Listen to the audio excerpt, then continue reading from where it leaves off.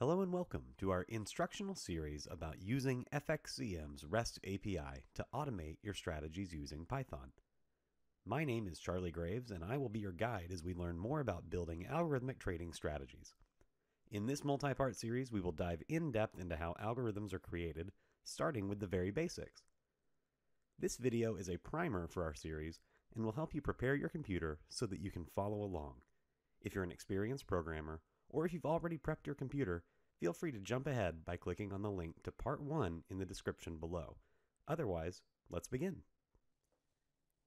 Installing Python and the necessary packages is a fairly straightforward process.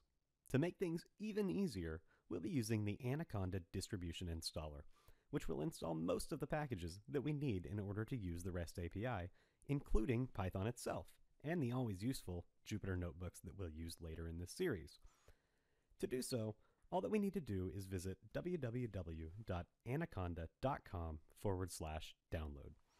As mentioned before, this tutorial will utilize the latest version of Python, which is currently 3.6. To download Anaconda, we'll simply click on the download button. After Anaconda has finished downloading, locate the file and double click on the installation wizard. The default settings in the installation wizard work well most of the time, but if you run into any issues, Anaconda has a great installation guide that we've linked to in the description of this video.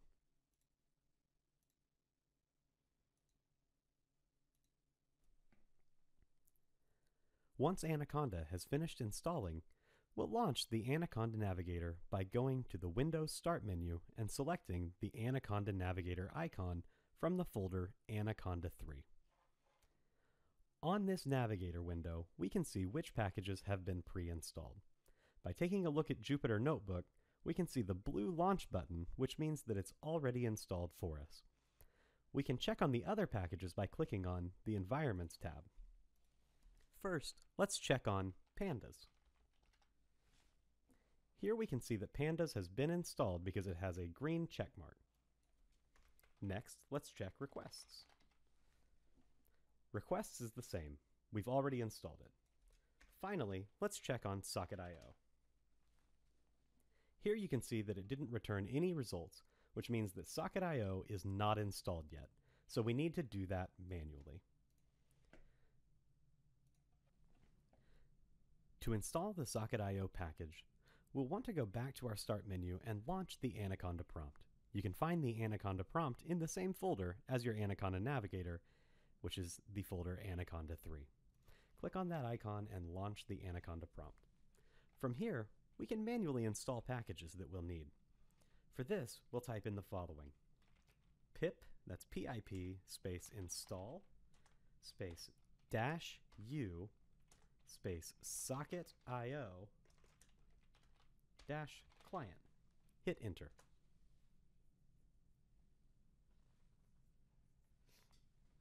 Here you can see that my system has successfully installed Socket.io. From there, we can close this window out.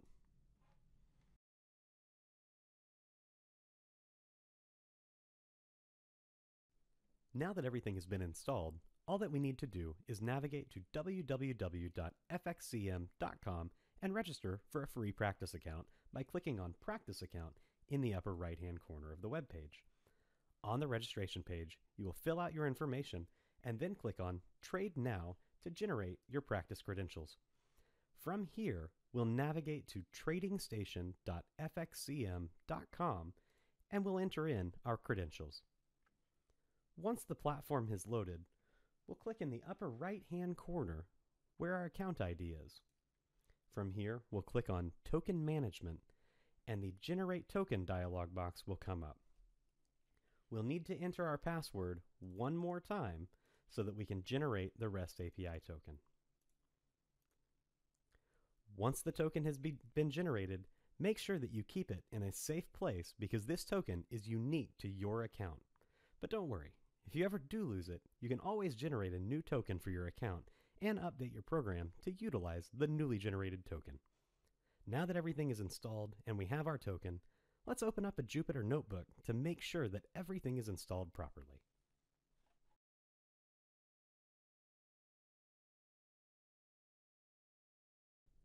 Now that we've installed everything, let's verify that everything was installed correctly. To do that, we need to open a Jupyter Notebook through our Anaconda prompt. To do that, click on the Start menu, then the Anaconda 3 folder, and then on Anaconda prompt.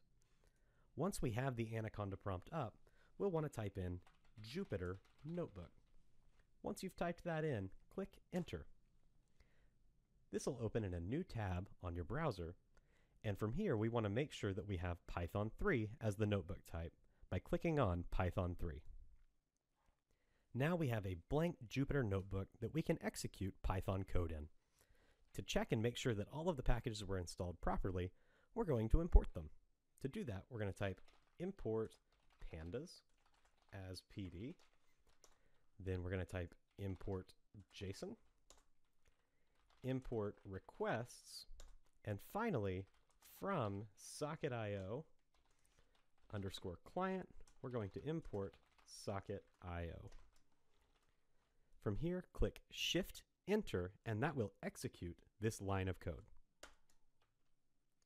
Here we can see that we didn't receive any error messages, which means that it was able to import all of those packages, which also means we've installed them properly.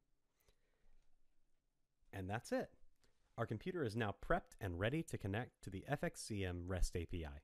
In our next videos, we'll be utilizing this same Jupyter Notebook to learn how to establish a connection to the FXCM REST API server, authenticate with our demo account credentials, build a function to retrieve and display live streaming prices, and then create a strategy to execute orders based off of this live streaming data. If at any time you run into issues, please do not hesitate to visit our GitHub page or contact us at api at fxcm.com. Thank you for watching and have a great day.